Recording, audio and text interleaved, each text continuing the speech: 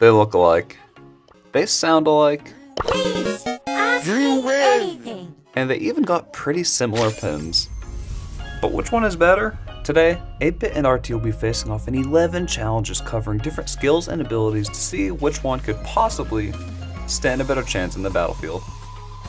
Starting off, we have the projectile speed test, where it looks as though RT is a bit faster, but when you slow it down, you'll notice that they make contact on the exact same frame, meaning we already have a tie. Moving along, we have what I call the Settle the Rivalries contest, which is kind of like a 3v3, except we all disconnected so our bots did the match for us, kind of eliminating the skill factor.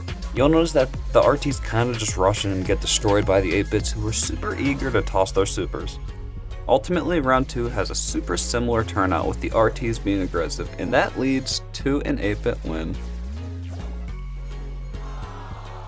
The next challenge we have is the 3 ammo damage test. RT is able to use his second form and mark the target prior to attacking, and he's able to deal a total of 15,390 damage. 8-Bit, on the other hand, is able to use extra credits as well as Boosted Booster to dish out a total of 38,880 damage, taking an easy win on this one. Moving on to what is perhaps my favorite challenge today is the El Mortis one. This event will be a simple timed takedown challenge to show how effective each of the two can be when dealing with a large group. When he uses his splash damage, RT is able to have a very fast takedown. 8-Bit on the other hand is able to line up his targets and take them down pretty fast but still not nearly as quickly as RT. I call the next test the Assisted Takedown Challenge where they both use one of their abilities to increase the damage of a multi-shot attack and a single shot attack. 8-Bit's damage booster is luckily able to benefit every single shot that hits the Frank, allowing his allies to do a total of 8,280 damage. However, when it comes to RT, his shot benefits Piper's attack just fine, but for Colt, it only benefits the first shot, allowing for a total of 7,620 damage. Next up, we have the timed safe takedown test. Even though RT is able to split into his second form, he's not able to mark the safe, which drastically increases the time it takes for him to take it down. But 8-Bit seems almost destined for single targets as he's able to drop down damage boosters and they're all able to use the same gadget, destroying it in a very short amount of time, giving 8-Bit the win. Our next challenge is a 1v1 as bots and bounty.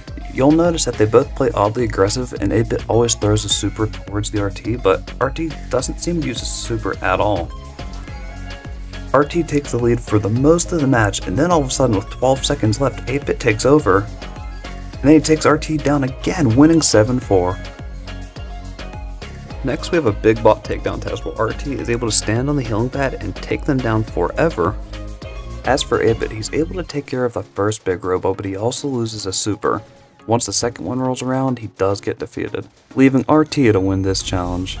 Next up we have the durability test where each of the two competitors see how many robot attacks they can take on before being defeated. RT is able to stand behind his base for the first few attacks and then take some punches himself, being able to survive 25 punches before being defeated. As for 8-Bit, he's able to drop his damage booster in front of him to take a few punches, but it still only takes 19 to take him down. Next up we have the speed test where teleporting is not permitted. RT is able to use a second form to fly across the map and make it in just under 6 seconds. 8-Bit is able to use plugged in for a decent speed boost but still takes slightly over 7 seconds to cross the map, giving RT a point for that one.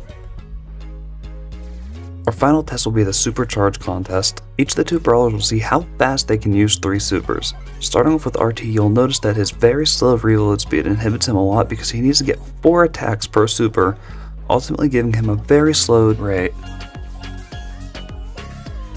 8-Bit however takes a lot less per super and he's able to do it overall in a very short amount of time, giving him a point for the Supercharge test. After playing those 11 challenges, 8-Bit will take the lead with a 6 4 1 record. Granted, they both have their different specialties, but today, 8-Bit is our winner.